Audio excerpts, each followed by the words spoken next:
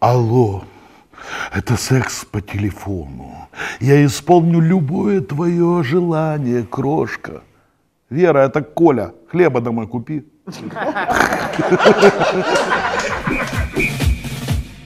Очередная ночь, супружеская ночь, муж с женой, разные позы попробовали, и он ей говорит, дорогая, говорит, что? Позу нашел, обалденную. Говорит, какую? Спина к спине. Говорит, тю, а как же мы будем заниматься любовью?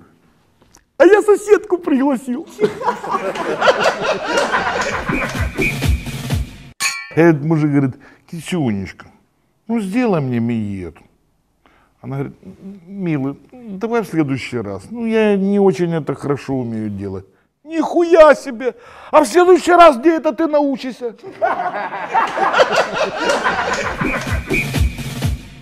В публичный дом приходит такой старикашка, ну вообще там лет 85 такой, ну еле дышит, такая, «А, Здравствуйте! бандерша на него смотрит и здравствуйте.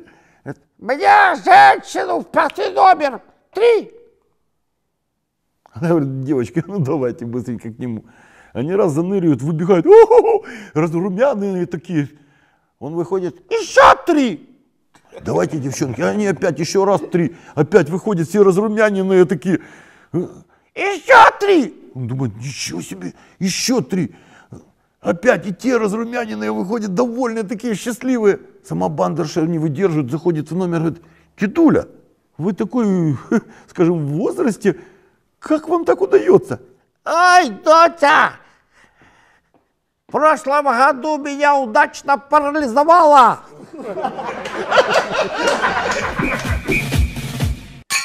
Говорит, девчонки, я вам так скажу. Вот как по мне, то какая нафиг разница, какие сиськи. Главное, чтобы жена борщ умела готовить. Так я умею.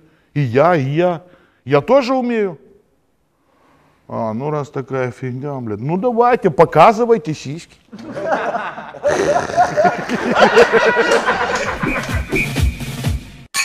Едут в поезде две девушки, грузин, и они между собой говорят, одна говорит, ты знаешь, а я так раком люблю. Я, наверное, роковая женщина. А вторая говорит, да? А ты знаешь, а я стоя люблю. Я, наверное, стоящая женщина.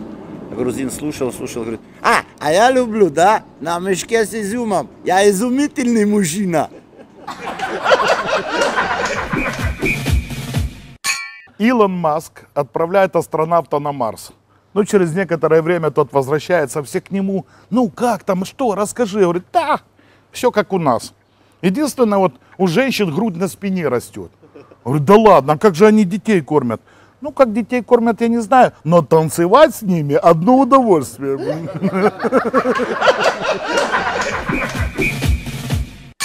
Молодой человек с девушкой занимается сексом. Ой, так бурно занимается сексом. И после секса поднимается. Он к ней.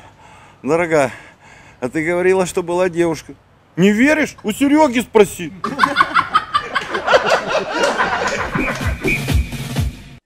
Говорит, Хайм Львович, куда это вы так бежите? Бежу домой, бежу домой. А что случилось? а? Мне кажется, что Абрамович ночует с моей женой. Как ночует сейчас день? А, вы не знаете Абрамовича. Он и днем может переночевать.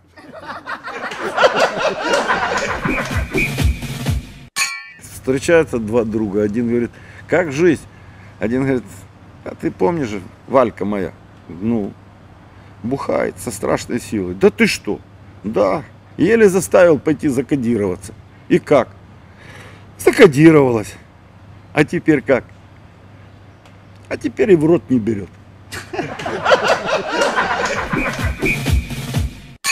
Петька и Василий Иванович копаются в огороде, и вдруг прямо на грядке садится НЛО.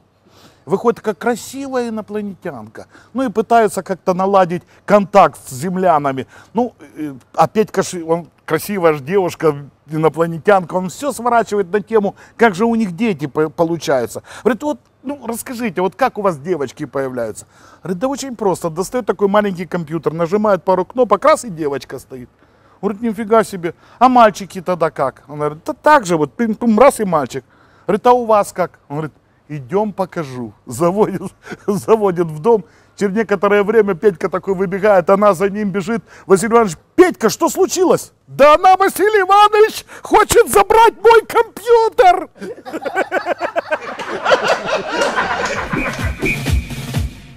Мужик выходит от врача и встречает друга. Тот говорит, опа, а что-то ты у врача был? Что-то случилось? Поймал, наверное, что-то? Да, говорит, нет. А что такое? Говорит, а вот гипс наложил. Как гипс? А как так? Как ты его поломал-то? Говорит, а. К жене начал приставать, говорю, давай займемся этим делом. Давай займемся. Она говорит, не могу, да не могу. Я думал месячная, а у нее, оказывается, камни с почек шли. Пришла девушка в ночной клуб устраиваться на работу, ну, спрашивают, к кому ей можно обратиться. Ее отправили к менеджеру, менеджер так посмотрел на нее, не, не разговаривая, говорит, ну, покажите грудь. Она, хорошо, раз он, «М, так ничего, так давайте на шест. Включил музыку, она там начинает танцевать возле шеста. Он так, стоп, стоп, стоп, стоп, извините, извините, девушка, вы нам не подходите, ну, у вас пластики не хватает. Она говорит, так я на компьютере еще могу. Он говорит, а при чем здесь компьютер? Ну так я ж бухгалтером к вам пришла устраиваться.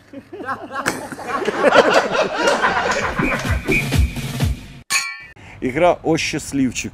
И очередное задание игроку говорит, итак, следующий вопрос звучит так. Где ваша жена любит заниматься сексом? Четыре варианта ответа. Первый на кровати, второй в туалете, третий на дереве и четвертый в канализации.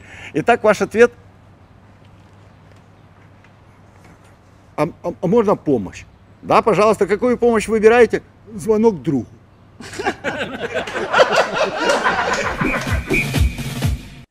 Водитель такси везет женщину э, по городу, ну или хачет там, подрезает всех на красный, через двойную там летает вообще так визги тормозов. И тут женщина не выдерживает, говорит, мужчина, у меня дома 8 детей, вы можете вести автомобиль как-то осторожнее? Он так поворачивается, говорит, ни хрена себе, и это вы мне будете говорить об осторожности?